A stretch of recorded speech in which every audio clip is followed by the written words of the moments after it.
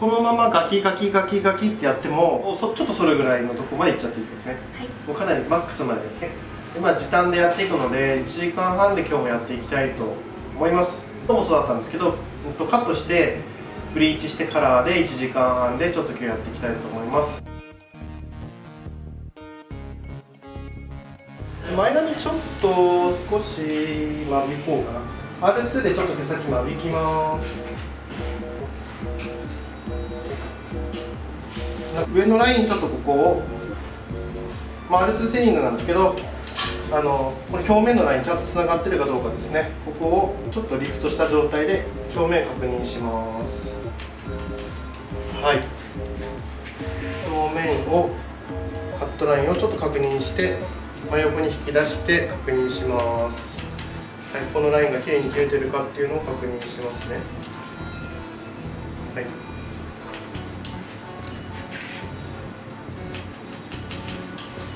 ここをきれいにすることによって表面のところのラインがすごいきれいになるので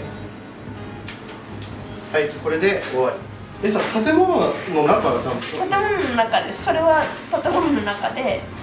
建物の中はちゃんとしてんの？ちゃんとしてます、まあ、普通にこう建物の中でやってけんだねその金額で。えっと今日ブリーチパウダーブリーチこちらの方にはあるもの5%入れたと普通オキシ2倍です。はい。でコームで塗っていきます。以上ですフィリピンの人月収が1万円とかだからえー、平均月収が。1万から2万とかマジっすか？それ結構。だからやっていけるんですよね。やばいよね。えでもなんかフィリピンでその美容院っていろいろ思ったことはシャンプーないですよね。なんかブリーチしてブリーチしてシャンプーない色抜く色薬剤落とす時はもう水あお湯がないえシャンプーしない？お湯もない。シャンプーしなくて。シャンプーしないと色入んねえじゃん。そうなんですか。え ブリーチ剤をシャンプーなしでなしであの流してす水でずっと流してすごいもう冷たい。水で流して、うん、でその後カラーで、うん、カラーのやつもシャンプーしない、えじゃあ流すだけってこと？もう水で流すだけです。シャンプー剤使わないの？シャンプーないんですか？マジで？それ終わってるじゃん。シ ャンプーってまずなんかそもそもなんかそういうメニューがなくて。シャンプー剤ないわけじゃないでしょ。洗剤もったいないのか。ななんでですかね。えー、すっごい冷たい水で。お湯お湯ないのって言ったら「えお湯ないよ。何言ってんの?」みたいな感じええー、最初嫌がらせだと思った。えなんかさそうと思って。まあでも安いから仕方ないのかな。結構高いところもあるわけ？そのフィリピン高いところは、うん多分あると思うんですけど。ちょっと高めのとこ多分多分あると思うんですけど、うん、私はその安いとこしか行かなかったええー、そう高いところはあるんですかあるのなさそうな気しますけど。うん。それ結構やばい感じだね。やばい感じ。かなりやばいですね。怖え。い。や本来さブリーチってねあの湿布剤で洗わないとさ、うん色ははじいちゃうんだよね。あそうなんですか。うん。なななんかでもそのブリーチも、うん、最終的なその白っぽくしたいっていうのを言ったら、うん、なんかブリーチつけてなん1時間ぐらい放置で、うんうんうん、なんかえ大丈夫なのかなと思って自分でこうピーってやったらなんかこうビヨーンって伸びて、うん、やばいんじゃないの？って思って。やばいですね。係の人に「すいません」って言ったら「あごめん忘れてたわ」っつって。マジで？今流すねってすごいやばい容赦ない。容赦ないです。やっぱすごいね、やっぱり結構。やっぱ安い安いから仕方ないのかな、うん、食事大丈夫だった？食事は美味しかったですまあ安いし。あ食事美味しいんだ。食事も私は結構そういう屋台の料理とか好きだ。お腹はなかったお腹強いんですよ私。大丈夫？全然大丈夫ですすごいね、なんかさ食べ物もさ、うん、そういう感じだとさ怖くね？なんかあちゃんとしてんだなちゃんとしてないと思います。衛生面とかさ全然ちゃんと洗ったりしてなさそうじゃん。してないと思いますその辺が怖い、うん、何が怖いかジュースは基本的に冷えてないみたいな。ああそうなんだ、冷えたジュースは出てこない。えじゃあ冷蔵庫がないってこと？冷蔵庫はあるんですけど、うんまあなんかあるけど多分その店とかにはあんまりちゃんと冷やしてそうなのことなくて。何それ？まずいじゃんしたらコーラとかもさうん。ぬるいの？コーラとかもうなんか冷なんか飲み屋さんとか行くとんうん。ちゃんと冷たいの出てくるああそういうことね。そっかそっか。じゃあそのお店によってね。そうですね。屋台とかじゃ出てこないってことね。屋台とかじゃもう全然常温。絶対無理。絶対無理常温？絶対嫌だそれはね。常温。えじゃあ結構さお金持ちの町とかの場所行ってもそうなっちゃう？えどうなんですかね。セブ島とか行きゃったらあなんかか多そうかセブ島もうちょっといいかもしれない。うんセブ島。確かにね。セブ島良さそうだよねそうか。うん結構ヤバめだね。うん。だからもうすごい面白かったです。なんか日本にいたら絶対できなかったうん。経験しなかったことうん。の面白かった。いい体験してきたね、うん。それは相当。前髪塗ります。ちょっと目閉じてください。前髪塗る時だけ皆さん目閉じてください。危ないですよ。はい。ブリーチ目に入ったらもう死んだと同然なんで本当皆さん本当ブリーチ気をつけてください。はい。ちょっと待ってくださいはい、コームで塗る意味としては毎回言ってますがハケで塗るとラインができます。コームで塗ることによって縦の細かいえーウィービングが入ったようなイメージになりますので、えーやっていただくと分かるんですけど伸びてきた時が自然です。ということで、えーそうしております。で今度、えー、と中の刈り上げてる部分のところにちょっとカラーを締めてないでしょまだ。つけ大丈夫です。てないからね。でここにちょっとカラーを入れてきていきたいと思うんですけどこういう時にあのハケでやると結構危なくてこのコーム使うとめっちゃ楽なんですけど何が楽かっていうとあのーこのハケでやるとちょっとごめんなさいね。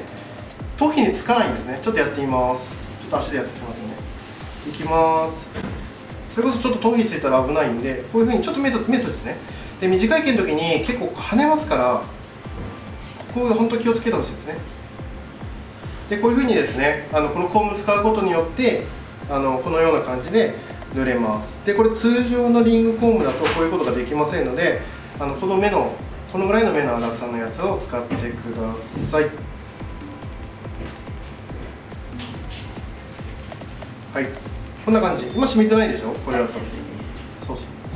あ本当にねちょっと染みちゃうと危険なのでそこのブリーチまず嫌だねこれ絶対フィリピンでブリーチしたくね何使ってるかまずわからないっていう部分と頭皮とかにつけても何とも思わなそう。うーん。やばい激悪ちょっと目閉じてよ。はい。はい。で、えーもみあえー、とこのサイドの刈り上げの部分を塗っていくんですが、まあ、刈り上げの部分頭皮につけるのは危ないですからなんとなくできてたらいいかなと思います。はい。なんとなくやなんとなくやりましょう。はいこのような感じで塗っていきます。はいはい、本当にね刈り上げとか塗るときは目閉じてもらわないと、まあ、メンズの時もそうですけど結構この髪の毛で飛んできますからね。でそれが目に入ったりすると本当大変なのでブリーチは気をつけてください。ということで、えーこれでとりあえず1回ブリーチ終わりでこのままガキガキガキガキってやってもこれ綺麗に塗れるんですね。いいですか？こういうふうにこう。はい頭皮つかないでこういうふうに塗ったりもできるんでフォームは非常にいいです。はい、でこれで1回ラップで置きます。はい今カラー作りました。で中の方の、えっと、サイドの刈り上げのところは今回刈り上げないで、あのーマニパニをちょっと入れたいと思います。で、えーマニパニの使う色としては今回はミスティックヘザーっていう色とあとニューローズっていう色を左右使う。両方ともこうえー別々の色をちょっとサイドに入れていきたいと思います。あとはカラーは根元と毛先で。はい。えー、とムササビをちょっとカラー剤に入れてトリートメント効果を、えー促進しております。両方ともムササビ入っております。で、えーまずと根元がうんと今回シンプルにしました。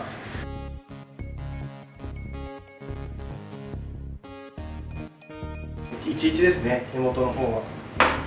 あとは毛先の方はね10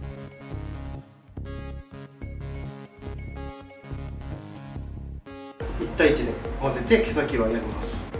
それをベースに最後に、えーちょっとあの遊びを入れるような感じで、えー、と1時間半で仕上げていきたいと思います。はい今カラー作ってる間で、えー、